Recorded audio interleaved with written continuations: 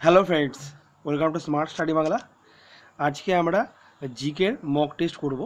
WB police মেন্সের তো WB পুলিশের মেন্সে পঁচিশটা প্রশ্ন আছে। তাও আমরা তিরিশটা প্রশ্নের মক টেস্ট করব। তো কমেন্ট সেকশানে অবশ্যই লিখবেন যে তিরিশটার মধ্যে কটা করতে পারছেন এবং আপনাদের যাবতীয় প্রশ্ন কমেন্ট সেকশানে অবশ্যই লিখবেন এবং ক্লাসটা ভালো লাগলে অবশ্যই একটা লাইক করবেন। আর যারা সাবস্ক্রাইব করেননি এখনও চ্যানেলটা সাবস্ক্রাইব করে নিন। তো বেনিফিটটা নিজেরাই বুঝতে পারবেন, ঠিক আছে? তো দেরি না করে ক্লাসটা শুরু করি। তো বন্ধুরা, আজকের প্রথম প্রশ্ন এবং প্রশ্নের লেভেলগুলো আজকে খুবই ভালো এবং এই ধরনের লেভেলটা থাকবে। প্রথম প্রশ্ন, এ সুইটেবল বয় গ্রন্থের লেখককে থমাস হার্ডি, বিক্রম সেঠ, অনিতা দেশাই, কুলদীপ নায়ার। চারজনই কিন্তু খুব বিখ্যাত লেখক।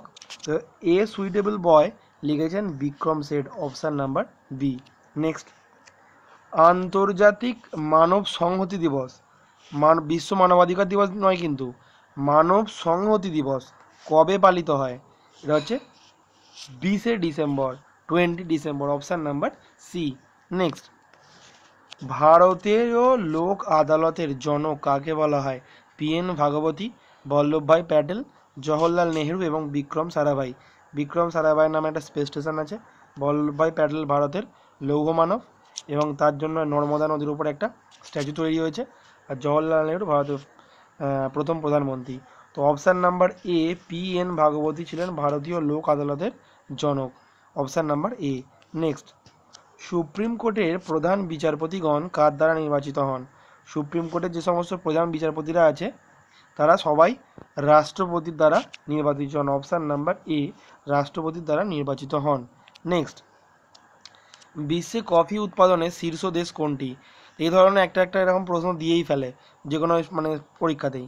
ভারত, ব্রাজিল, চীন এবং কিউবা। তো উত্তর কী হয়ে যাবে? বিশ্ব কফি উৎপাদনের শীর্ষস্থান শীর্ষ দেশ সেটা হচ্ছে option number B, Brazil.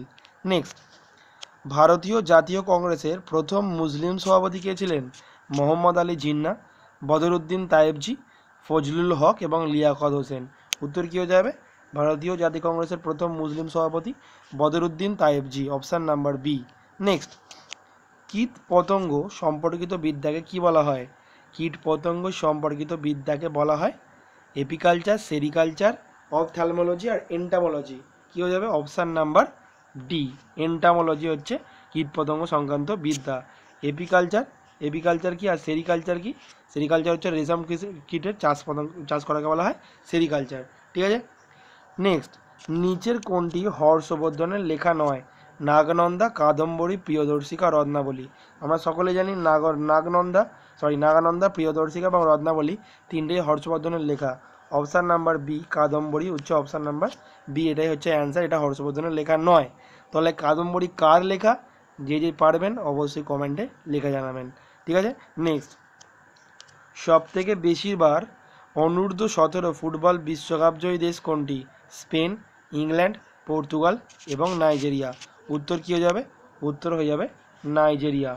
তো লাস্ট যে অনূর্ধ্ব সতেরো ফুটবল বিশ্বকাপ হলো ভারতে, তার সেটাতে কোন দেশ জয়ী হয়েছিল? England. Option number B England জয়ী হয়েছিল। ঠিক আছে? নেক্সট প্রশ্ন। মুসলিম লীগ বিখ্যাত লাহোর প্রস্তাব পাস করে দিল্লিতে, লাহোরে, বোম্বাইতে, এলাহাবাদে। উত্তর কী হয়ে যাবে? অপশান নাম্বার বি লাহোরে পাস করেন লাহোর প্রস্তাব।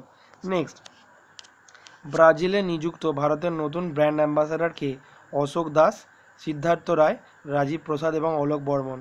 তো এটা যদি, এটা দু হাজার আঠেরো সালের, তো যদি একটু আপডেট হয়ে থাকে, তো অবশ্যই গুগলে আবার চেক করে নিতে পারেন। তো এইখানে অপশান অনুযায়ী Ashok Das option number A হয়ে যাবে কারেক্ট অ্যান্সার ব্রাজিলে নিযুক্ত ভারতের নতুন brand ambassador Ashok Das. Next দু হাজার আঠেরো সালের অন্ধদের ক্রিকেট বিশ্বকাপ জিতলো কোন দেশ? ভেরি ইম্পর্টেন্ট প্রশ্ন, অনেকগুলো পরীক্ষায় পড়েও গেছে। ঠিক আছে, আপনাদের পরীক্ষাতেও কিন্তু পড়তে পারে। চারটে অপশান পাকিস্তান, অস্ট্রেলিয়া, ভারত এবং ইংল্যান্ড। উত্তর হয়ে যাবে দু হাজার আঠেরো সালে অন্ধদের বিশ্বকাপ জিতেছে ভারত। নেক্সট শর্মিলা নিকোলেট কোন খেলার সাথে যুক্ত? গলফ, টেবিল টেনিস, ক্রিকেট এবং hockey.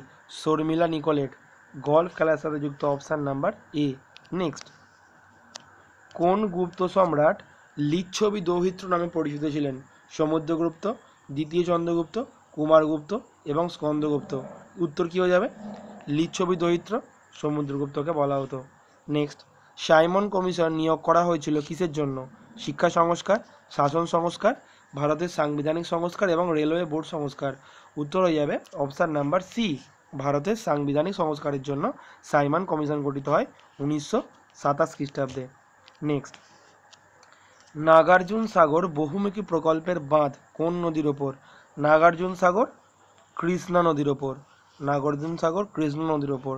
Option number B correct answer next ভারতের কোন রাজ্যে ভারত তথা বিশ্বের প্রথম ইলেকট্রিক বাস পরিষেবা চালু হয়? ভারতের কোন রাজ্যে ভারত তথা বিশ্বের প্রথম ইলেকট্রিক বাস পরিষেবা চালু হয়? ভারতের হিমাচল প্রদেশ এই স্টেটে ঠিক আছে? নেক্সট দু হাজার সতেরো সালে ছয়ই অক্টোবর চোদ্দতম ভারত ইউরোপিয়ান ইউনিয়ন সাবমিট কোথায় অনুষ্ঠিত হয়েছিল? দু হাজার সতেরো সালে, আপনারা ভাবছেন দু হাজার উনিশ সালের পরীক্ষাতে দু হাজার সতেরো সালে কারেন্ট অ্যাফেয়ার্স এখনকার প্রশ্নের প্যাটার্ন দেখবেন কারেন্ট অ্যাফেয়ার্সের কোনো ঠিক ঠিকানা নেই। দু হাজার সতেরো সালেরও দেয়, আঠেরো সালেরও দেয়, উনিশ সালের পরীক্ষা উনিশ সালেরও দেয়, ঠিক আছে? তো উত্তর কী হয়ে যাবে? দু হাজার আঠেরো সালে সরি সতেরো সালে ছয়ই অক্টোবর চোদ্দতম ভারত ইউরোপিয়ান ইউনিয়ন সামিট হয়েছিল নতুন Delhi. Option number C next কোন ব্যাংক ক্যাশব্যাক হোম লোন চালু করল? কোন ব্যাংক ক্যাশব্যাক হোম লোন চালু করল? আইডিবিআই আইসিআইসিআই এসবিআই এবং এইচডিএফসি ঠিক আছে? উত্তর হবে option number B ICICI bank প্রথম ক্যাশব্যাক হোম লোন চালু করেছেন। নেক্সট দু হাজার সতেরো সালে চায়না ওপেন টেনিস টুর্নামেন্টে পুরুষদের সিঙ্গেলসে কে জয়লাভ করলেন? দু হাজার সতেরো সালে কারেন্ট অ্যাফেয়ার দিয়েছি, ঠিক আছে? চায়না ওপেন টেনিস টুর্নামেন্ট, যেহেতু এগুলো মানে পুরুষ মানে টেনিস যে টুর্নামেন্টগুলো আছে, ওটা আপনারা দু হাজার সতেরো, আঠেরো এবং উনিশ তিনটে স্যালারি কিন্তু দেখে যাবেন, ঠিক আছে? তিনটে স্যালারি দেখে যাবেন। উত্তর হয়ে যাবে option number C Roger Federer. Next ফুলের কোন অংশ মিওসিস পদ্ধতিতে পরাগরেণু উৎপন্ন করে। বৃত্তাংশ, পাপড়ি, পুংকেশর এবং গর্ভকেশর। পরাগরেণু উৎপন্ন করে পরাগ থাকবে পুংকেশরের সিম্পল কথা। Option number C.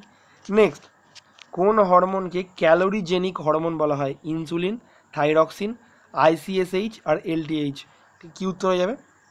উত্তর হয়ে যাবে অপশান নাম্বার বি। থাইরক্সিনকে বলা হয় ক্যালোরিজেনিক হরমোন। নেক্সট প্রশ্ন চলে যাচ্ছি।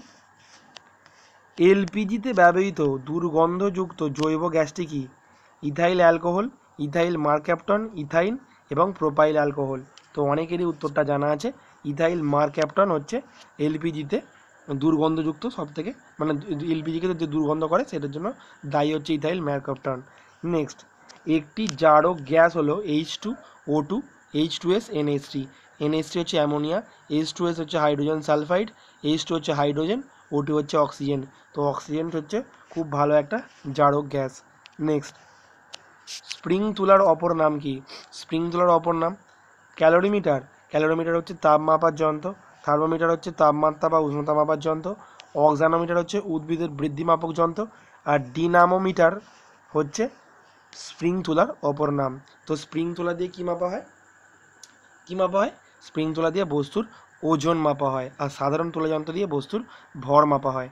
এই দুটো প্রশ্ন পরীক্ষায় পড়ে। নেক্সট একটি বেলুনে অক্সিজেন ভর্তি করে দেওয়া হলো।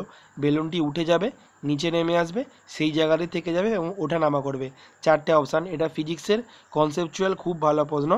বেলুনে অক্সিজেন ভর্তি করে দেওয়া হলে বেলুনটা কিন্তু নিচে নেমে আসবে। তার কারণ হচ্ছে অক্সিজেন বাতাসের থেকে ভারী গ্যাস, সেই জন্য অক্সিজেন সবসময় নিচের দিকে যাওয়ার চেষ্টা করে। আর এই জন্য ভূপৃষ্ঠের সঙ্গে আমরা লেগে আছি বলে অক্সিজেন গ্যাসটা এখানেই আছে। আর হাইড্রোজেন গ্যাস বাতাসের থেকে অনেক হালকা, সেই জন্য অনেক উপরে থাকে। ঠিক আছে? ওই জন্য যে যে বেলুনে হাইড্রোজেন গ্যাস ভরা হয়, বেলুনটা ওই জন্য উপরে উঠে যায়, বাতাসের থেকে হালকা বলে। নেক্সট সাদা চকচকে বস্তুর কি ক্ষমতা বেশি? বিকিরণ ক্ষমতা, শোষণ ক্ষমতা, প্রতিফলন ক্ষমতা না প্রতিফলন ক্ষমতা কম? তো সবসময় সাদা বস্তুর প্রতিফলন ক্ষমতা সেই জন্য বেশি। সেই জন্য গরমকালে আমাদের সাদা পোশাক পরার নির্দেশ দেওয়া হয় যাতে সূর্যের আলো সাদা পোশাকের ওপর পড়লে সেটা শোষিত না করে সাদা জামা সেটাকে রিফ্লেক্ট করে দেয়, অর্থাৎ প্রতিফলন ঘটিয়ে আলোটাকে ফিরিয়ে দেয়, যার ফলে আমাদের গরম কম হয়। তো কালো যে পোশাক গরমকালে পরবেন না, অবশ্যই সাদা পোশাক পরবেন। নেক্সট বায়ু থেকে হালকা গ্যাস একটু আগেই বলছিলাম।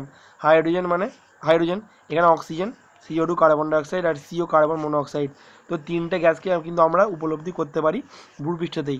কারণ, তিনটে গ্যাসই এই চারটে গ্যাসের মধ্যে, বাকি তিনটে গ্যাস কিন্তু ভারী বলে এরা নিচে আছে এবং এদের গন্ধ আমরা পাচ্ছি।